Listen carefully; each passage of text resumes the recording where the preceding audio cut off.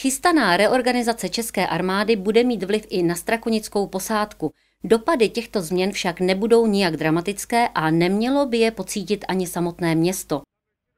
V současné době působí 25. protiletadlová raketová brigáda ve Strakonicích již 13. rokem.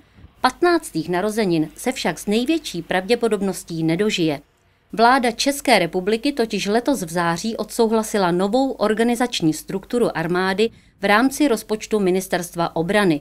Změny se budou připravovat následující rok a platit by měly od ledna 2014. Brigáda by měla být teda organizovaná na pluk, což je organizačně nižší struktura, samozřejmě se sníženými počtama oproti současným, nicméně veškeré snížení by se nemělo týkat zásadním způsobem vojáků.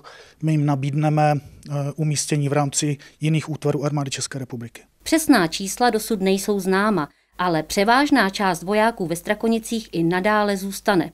Přitom příslušníci armády jsou pro Strakonice nejenom výraznou ekonomickou silou, ale i důležitým prvkem veřejného života – Společně s městem a dalšími organizacemi se zapojují do různých akcí. Brigáda například spolupořádá Běh naděje, jehož výtěžek jde na výzkum rakoviny. Spolupracuje se základní a mateřskou školou speciální, sama ve svém areálu organizuje Den otevřených dveří, prezentuje se na veřejnosti se složkami integrovaného záchranného systému a vojáci se účastní i různých vzpomínkových aktů – Rozsah těchto činností by se neměl měnit ani do budoucna. Nepředpokládám, že by tato reorganizace měla negativní dopad na město.